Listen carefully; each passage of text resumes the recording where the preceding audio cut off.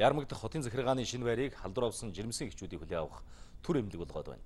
Яаралтай гормоор орд илгэх хүчил төрөгчийн аппарат суйрлуулах ажил үргэлжилж байгаа.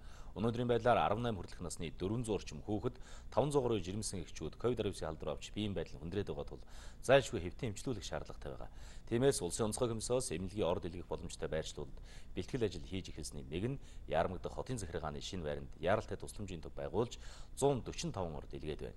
Яаралтай тусламжийн төвд зайлшгүй хэвтэн эмчлүүлэх шаардлагатай ор хүлээж байгаа иргэдийг хүлээн авч түргэн тусламжийн үйлчилгээ үзүүлнэ. Шадар сайд болон албаны хүмүүс Яармагдах хотын захиргааны шинэ байрны төр эмнэлгийн нөхцөл байдалтай танилцлаа.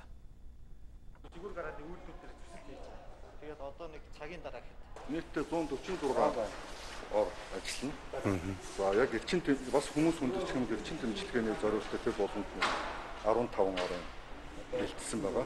Монгол хамгийн анх одоо эмнэлэг тодорх ярал тооцооломжийг нэгдүгээр эмнэлэг дээр бид нутгшуулж хахад эхнээс нь ажиллаж байсан залуучуудаа авцраад энэ дээр ингэ ажиллуулахад шинэ юм биш хийдэг юм а хийж байр нь л өөр болохоос биш.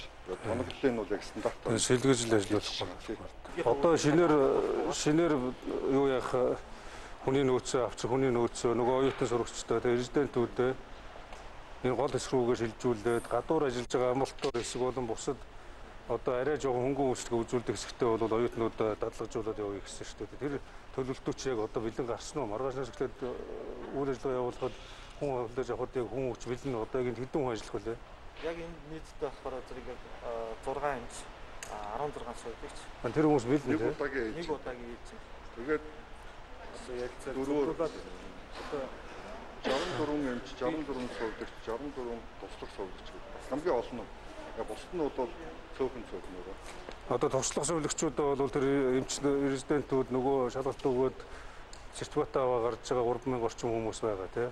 Тэндээс нөгөө 500 дугаар курсын оюутнуудаас та нар одоо жоохон ч хурдан хурдан төлбөр шийдсэн. Нийслэл төдийгүй хөдөө орон нутагт халдварын тархалт өндөр байна. Өнөөдөр л ихэд хөдөө орон нутагт 864 тохиолдол бүртгэлээ. Нийслэлтэй хамгийн ойр Төв аймагт тохиолдол 2401 болж байна. Одоогоор нийт 246 кластер голомт бүртгэгдэж 103 голомт идэвхгүй болсон талаар их сурвалжууд мэдээллээ.